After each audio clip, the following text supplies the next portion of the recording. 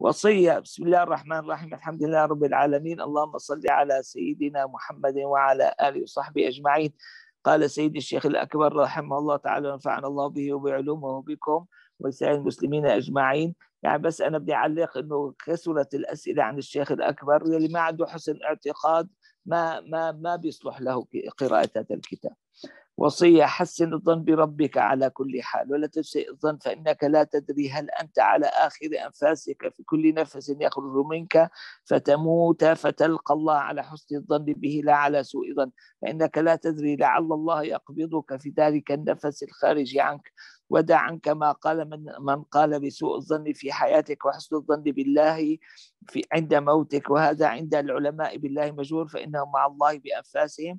وفيه من الفائدة والعلم بالله أنك وفيت في ذلك الحق حقه فإن من حق الله عليك الإيمان بقوله وننشئكم فيما لا تعلمون. فلعل الله ينشئك في النفس التي تظن الذي تظن أنه يأتيك نشأة الموت.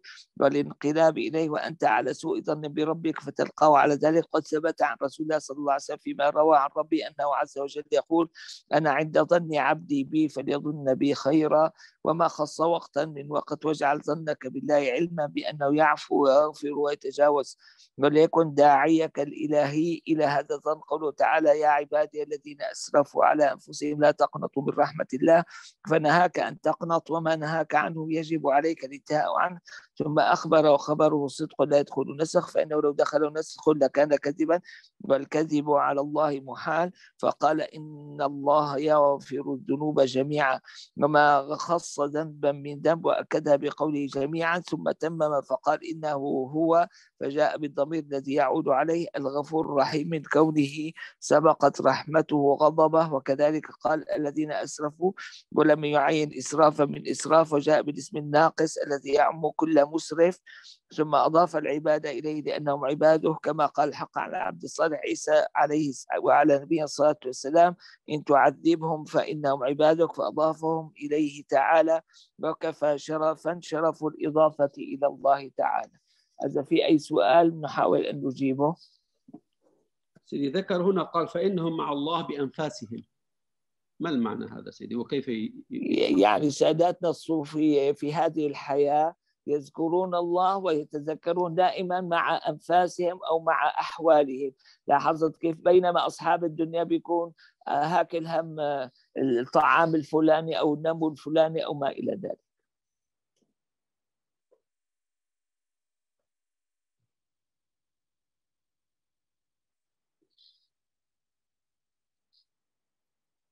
في سؤال آخر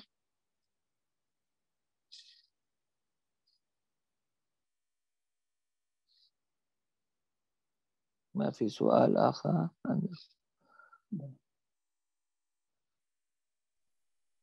سيدي لما ذكر هنا أن الذين أسرفوا على أنفسهم أن الله يغفر الذنوب جميعا. هل هذا كل تخاطب الله أن تصلي لا يا عمي عم يسألني سؤال. نعم نعم تفضل كمل. هل هذا يعني جميع الذنوب؟ حتى الإنسان إذا كان يعني غير مسلم؟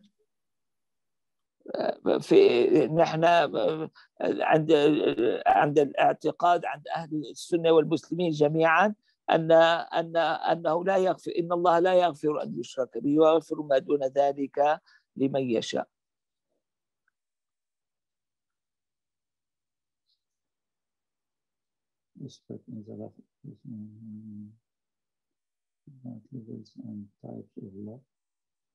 levels of type of love the heart for him. Level of type of love, I haven't read anything about it, you know, but I believe that we differ significantly in our love to the Prophet sallallahu alaihi wasallam. يقال إذا أردت أن تخاطب الله أن تصلي وإذا أردت أن يخاطبك الله تقرأ القرآن هل يمكن تحدثون عن هذا المعنى؟ يعني الكلام كله بيكون عن عن طريقين وأنا هذا يقال ما ما ما أعتقد بهذا القول لأنه في قراءة الفاتحة ورد في الحديث الصحيح لما يقول العبد الحمد لله رب العالمين يقول الله حميدني عبدي. فلذلك الخطاب يكون في الصلاة أنت تخاطب لا والله يخاطبك. فلذلك إذا بتجيب لي مين قال هذا القول الله أعلم به. هل الأشاعرة يقدمون العقل على النص؟ لا المعتزلة الذين يقدمون العقل على النص. أهل السنة يقدمون النص على العقل.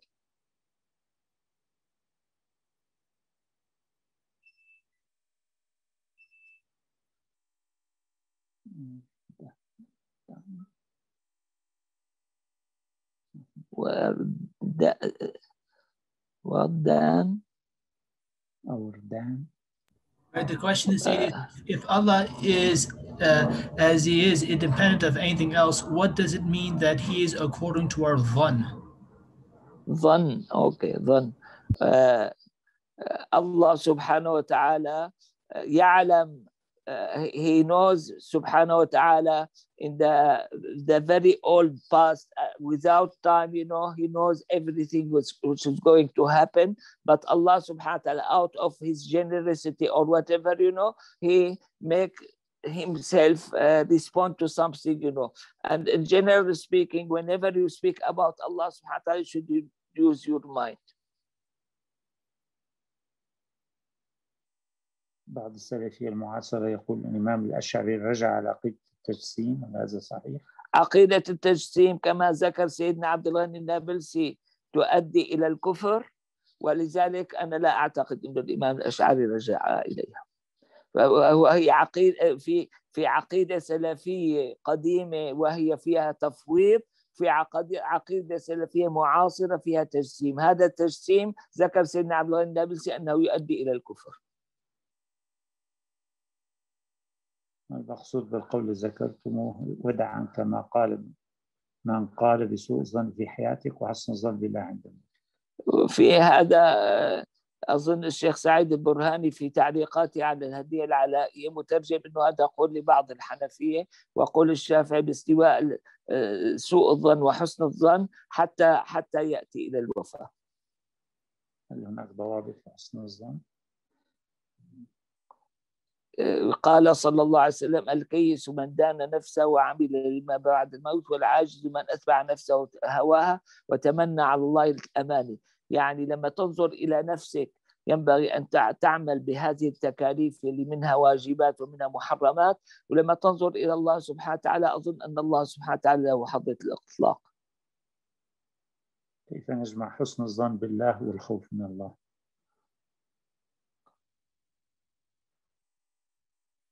أنا أظن السؤال ما لازم يكون هكذا لازم يكون حسن الظن الخوف والرجاء. وبيقول سبحانه وتعالى في الحديث القدسي وعزتي وجلالي لا أجمع على عبدي خوفين ورجائين أبدا خافني في الدنيا أمنته يوم القيامة وامنيني أبدا. وإن امنني في الدنيا أخفته يوم القيامة. لو كان هو من أهل السعاده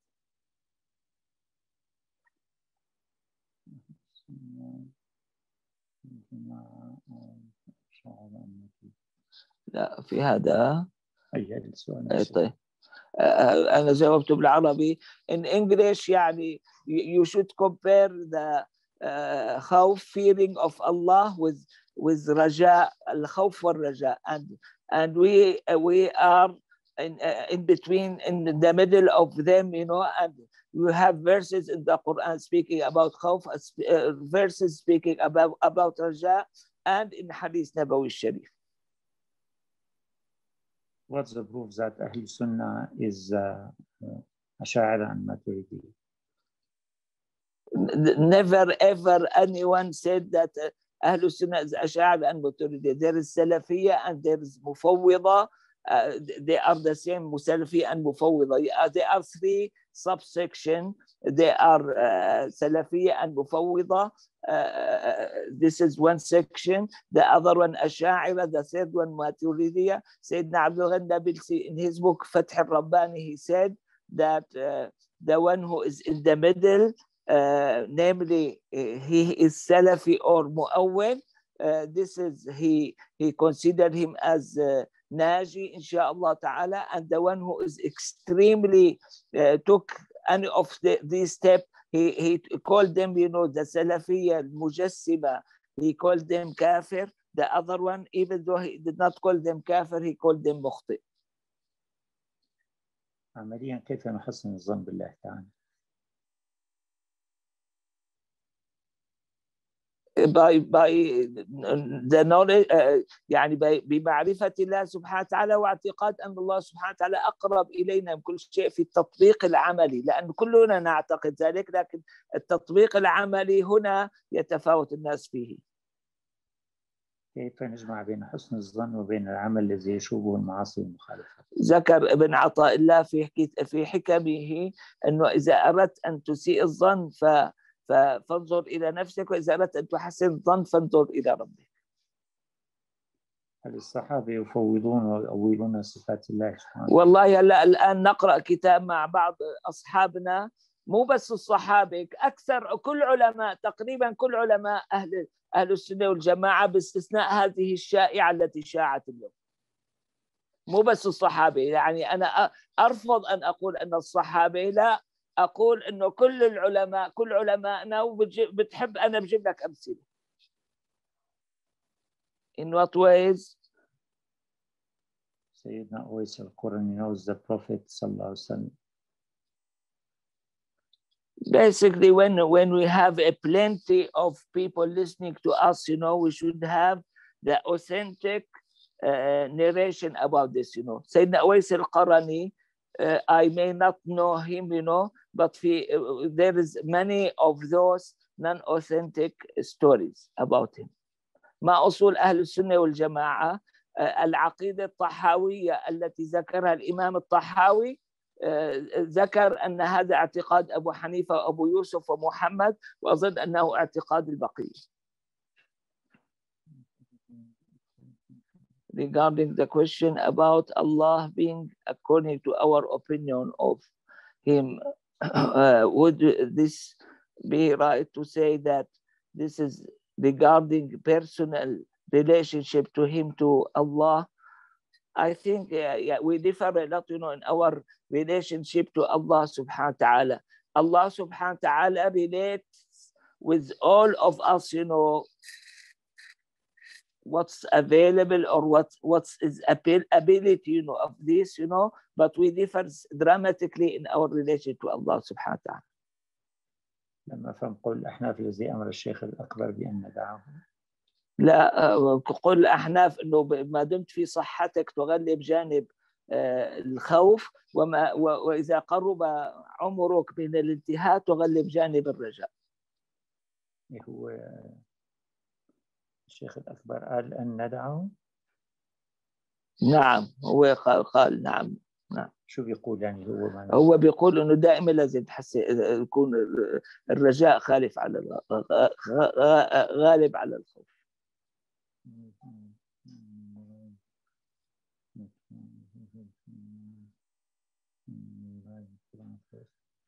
Memorizing mutun or Quran first? My personal opinion that you should memorize the Quran before. And there is uh, uh, Salat Hafz al-Quran.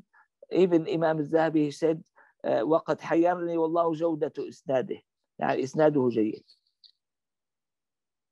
ذكر الشيخ ابن العربي كما في كتاب روح القدس ولم أزل أبدا والحمد لله أجاهد الفقهاء في حق الفقراء السادة حق الجهاد وأذب عنهم وأحمي بهذا وبهذا فتح وبهذا فتح. لي ومن تعرض لذبني بأخذ فيهم على التعيين وحمل من عاشر على من عاشر. فإنه خاف لجاهي ولا يفلح أبدا. انتهى. اشرح لنا يا أساس للأسف يعني نحن كثير من من من من أناس يكون عندهم صفاء قلبي وصفاء ذهني لكن متى ما تعلموا شيء من العلم الشرعي بيظنوا انه هم هم يعني هم الأساس في ذلك يعني القرآن والسنة فقط على فهمهم وهذا في حصر للقرآن والسنة فلذلك تجد كثير منهم يلي كان محب للنبي صلى الله عليه وسلم بيصير يحبه باعتداد يلي كان يصلي سنة العصر ما بيقعد بيصلي سنة العصر وهكذا.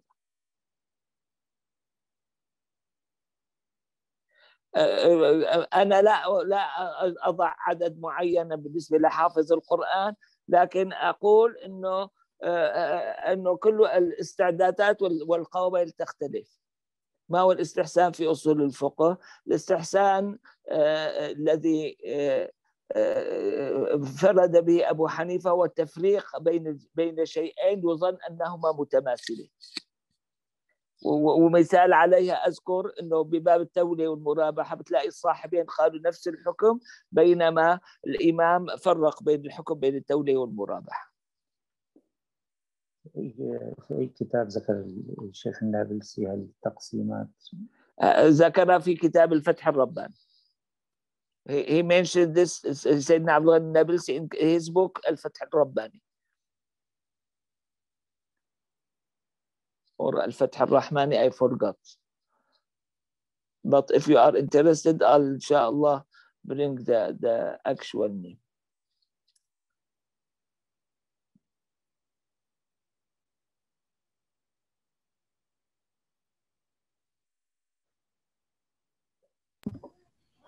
سيدي أنا في في سؤال هنا هل الشيخ سامر أشعري أنا لست شيخا؟ وأنا بتبع الشيخ الأكبر والشيخ الأكبر كان سلفي المعتقد بس على التفويض ليس على السلفية المعاصرة من التجسيم. وأنا قرأت لأحد بدون تسمية أنه أنه في عنده تلميذ ما ما ينفك عن اعتقاد الله أنه جسم. وهذه مشكلة كبرى. تفضل سيدي ولي. Sadie, can you explain tamanni ala Allah and husn dhan billah? Uh, can someone have, uh, uh, where do you draw the line? I draw the line uh, as Sayyidina Ibn Ata'illah, when you look at yourself, you should have a lot of duties and whatever, you know, in that regard. When you look at Allah subhanahu wa ta'ala, Allah subhanahu wa ta'ala is absolute and not uh, governed, you know, by those uh, actions that we have, done.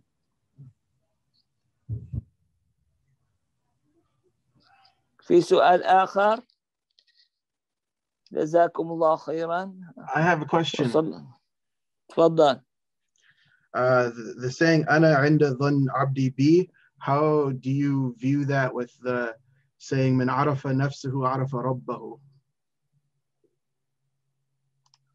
I think no no controversy between both of them, you know, because he- here when you look at Allah subhanahu wa ta'ala, uh, Allah subhanahu wa ta'ala is, is absolute. And when you look at yourself regarding your uh, description, attributes, and names and actions, you know, you see the the trace of Allah subhanahu wa ta'ala. No, no, no relation between them. Even though uh, the, the hadith من عرف نفسه عرف ربه الشيخ الأكبر بيقول صح كشفا but, but uh, in, uh, in our uh, uh, books you know, of hadith they don't consider it as hadith. وتأثر الشروح أو حكم حكم ابن عطاء الله I, I think since Ibn Ajiba is the, one of the latest one, you know, uh, Sh- Sh- Sharh Ibn Ajiba is going to be one of the best. فنفهم إذا أن الحسن أن الحسن بالظن يعني الرجاء لا لا تفهم ذلك لأنه الحسن بالظن يتعلق بسائر أعمالك والرجاء يتعلق ب- ب- برحمة الله ودخولك الجنة.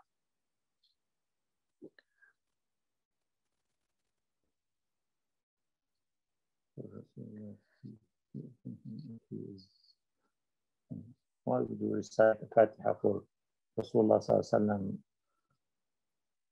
upon him if he is sinless? Fatiha is not so to take away the sins, you know. I, I, I disagree with this part of opinion. And this is to re- rel- relate yourself to the Prophet.